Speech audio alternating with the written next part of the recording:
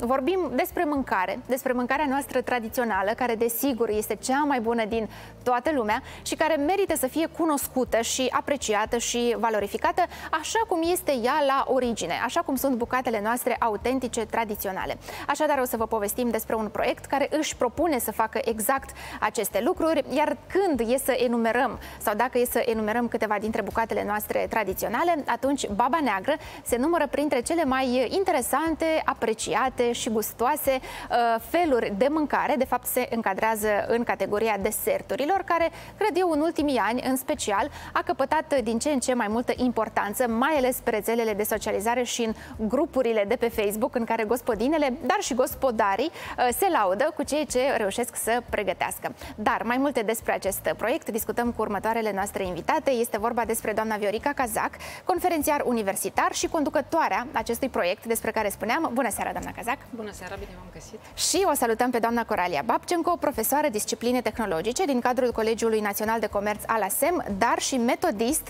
în cadrul Direcției Generale Educație Municipiul Chișinău. Bună seara, doamna Bună Babcenco! seara!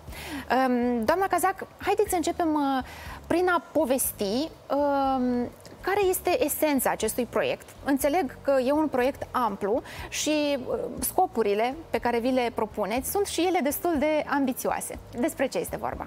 Este vorba despre un uh, program de stat care este axat pe educație pentru revitalizarea patrimoniului cultural național prin tehnologiile tradiționale, pentru că asta ne-am propus. Ne-am propus să mergem din casă în casă, din zonă în zonă a Republicii și să identificăm uh, de la puținele surse care mai există și de care ne bucurăm, uh, să identificăm tehnologiile tradiționale de preparare a bucatelor, pentru că sunt foarte interesante, sunt diferite de la zonă la zonă și prin uh, componență, compoziție și prin uh, parametri tehnologici și chiar tradițiile legate de prepararea, de servirea acestor produse, momentele în care se servesc. Este foarte interesant uh, și noi mergem în acest an, ne-am propus, suntem axați pe zona de nord, tocmai de acolo de unde vine Baba Neagră și să știți că am găsit-o în, în cred că în cel puțin șapte uh, varietăți și ca tehnologii de preparare și ca durată de preparare. Foarte interesantă și am mers în toate raioanele Republicii de unde am cules aceste rețete foarte interesante.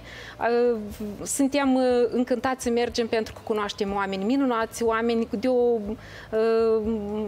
o înțelepciune extraordinară care este specifică acolo. Veșnicia, într-adevăr, este la ea acasă. Sunt oameni înțelepți, sunt oameni blajini, sunt oameni cu foarte atenți la ce se întâmplă și noi ne încărcăm de acolo cu foarte multe lucruri pe lângă ceea ce facem în, în proiect, ne încărcăm cu foarte multe emoții pozitive. Doamna Babcenco, uh despre Baba Neagră aș vrea să discutăm un pic, mai ales că am văzut și câteva secvențe. E, Baba Neagră se face, nu se face atât de ușor.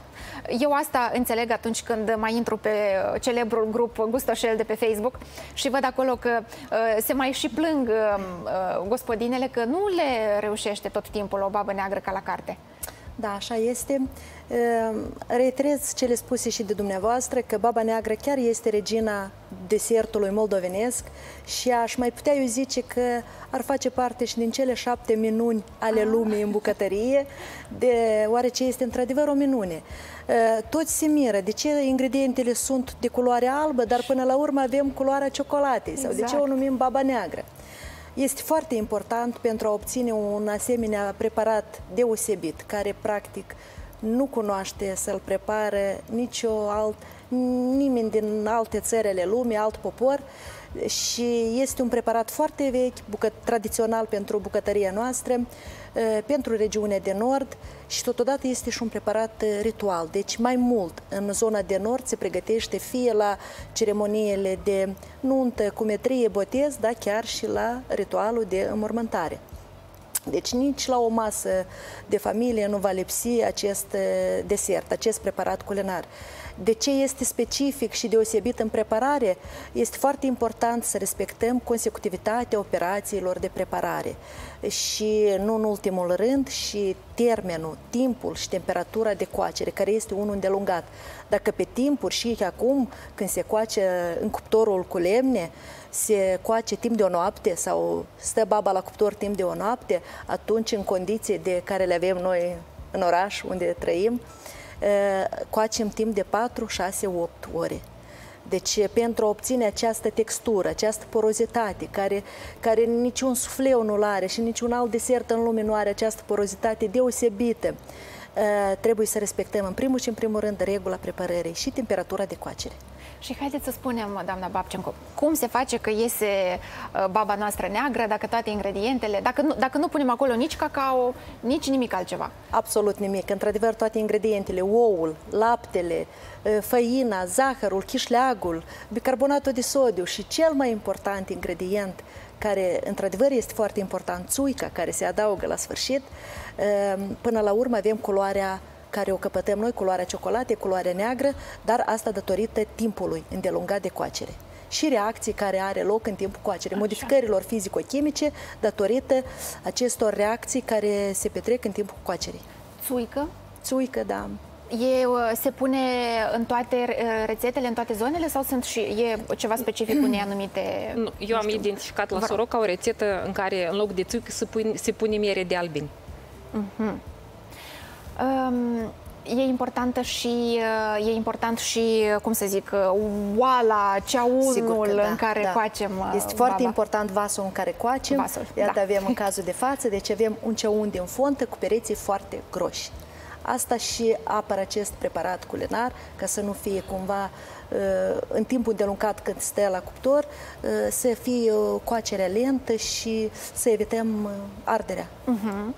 Doamna Cazac, ce ați mai, uh, ce uh, detalii interesante, nemai știute, ați mai descoperit uh, în cadrul cercetărilor? Tot în cadrul acestui proiect, anul trecut ne-am axat foarte mult pe Alivanca, un alt produs uh, tradițional uh, și într-o varietate la fel de interesantă și foarte diversă. Noi încercăm să analizăm uh, care este corelația între tehnologiile, formele de reprezentare a preparatelor, bucatelor, formelor, formelor de realizare cu tangența lor cu formele ornamentelor din textile, spre exemplu, pentru că același romb îl găsim și în turtile cu mac, care erau tradiționale tradiționale și sunt uh, niște dulciuri tradiționale în bucătăria noastră. Și același romb îl găsim și în covorul tradițional și în uh, ornamentele din costumul popular. Și are o anumită semnificație, dacă putem să zicem chiar sacrală pentru noi. Ce se va întâmpla cu toate uh, rezultatele pe care le înregistrați în cadrul acestui uh, proiect? Uh, din fiecare expediție pe care o facem, uh, culegem toate informațiile din teren, le analizăm și ne propunem să edităm uh, niște broșuri mici de ghidare pe care cu siguranță le vom oferi uh, pensiunilor tuturor celor interesați cu referință la prepararea bucatelor tradiționale, cu rețete incluse în ele, uh, ca să continue această tradiție pentru că, așa, pentru că am zis, foarte multe lume pleacă. Din păcate, bunicii noi plea, noștri pleacă și ei, iar cu ei pleacă foarte multe din tehnologiile tradiționale și noi ne propunem ca lucrurile să nu se oprească și să continue, să le uh, continuăm în continuare. Deci noi chiar uh, le abordăm în cadrul proceselor uh, didactice, le transmitem studenților și le propunem și îi încurajăm să le continue.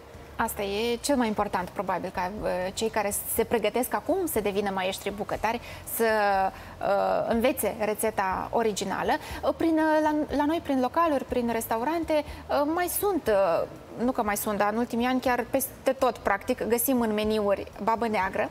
Uh, dumneavoastră, doamna Babcenco, cred că știți că în unele localuri această babă neagră nu e tot timpul după rețeta tradițională, uh, se mai și reinventează, se mai servește cu înghețat, cu cremă de tot felul. Ce părere aveți despre asemenea tendințe? Da, corect. Deseori am văzut în uh, meniul restaurantelor, chiar și am gustat. Într-adevăr, este un desert deja reprodus nu este cel autentic de babă neagră, mai mult asemănător cu o negresă, cu un lava cake, care într-adevăr se servește cu înghețată, dar e, noi suntem pentru aceea ca să păstrăm gustul, culoarea, porozitatea, denumirea, aspectul, temperatura de servire, tot care l-a moștenit de la străbuni. Nu degeaba a ajuns acest preparat să fie publicat în, dacă cunoașteți, sau poate da, eu... Da, puteți, da, vă rog să ne povestiți. Deci în revista Global Journal da, americană. A fost publicat acest articol de către echipa noastră.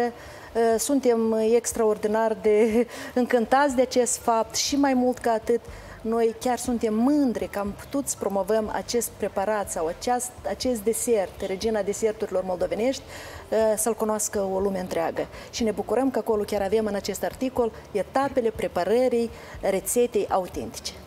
Ne-ar plăcea mai mult decât atât să mergem mai departe și să încercăm puținele produse autentice, tradiționale, să le înregistrăm, să continuăm să le înregistrăm uh, ca produse cu protecție uh, geografică uh, protejată. Uh, astfel încât să ne bucurăm și noi, la fel cum se bucură și uh, vecinii noștri de produse care sunt autentice și țin de, uh, au indicația geografică protejată, astfel încât să fim recunoscuți nu doar la nivel local, dar și dincolo de hotarele țării noastre. Mulțumim tare, tare mult pentru, pentru prezență, pentru că ne-ați povestit despre acest proiect cu adevărat inedit și interesant și suntem bucuroși pentru că avem uh, un desert, un fel de mâncare uh, recunoscut la nivel internațional. Așa este. Uh, încă o dată felicitări pentru ce reușiți să faceți și vă mai așteptăm la noi, că noi despre bucate tradiționale suntem gata să vorbim oricând. Cu Mulțumim tare mult! Mulțumim foarte mult!